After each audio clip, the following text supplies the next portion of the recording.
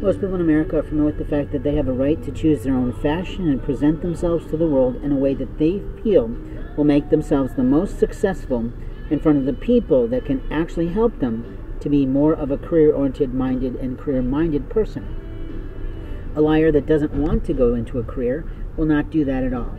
They will play in the shadows, they will lie, steal, and cheat their companies out of time and out of publicity.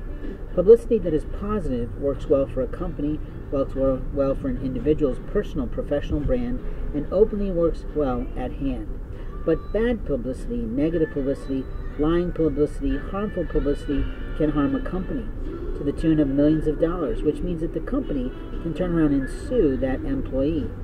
Big companies that are like a Goliath don't typically turn around to sue little companies like mine because the truth is your employees represent you at the top not the other way around. In truth, in the daily lives of people.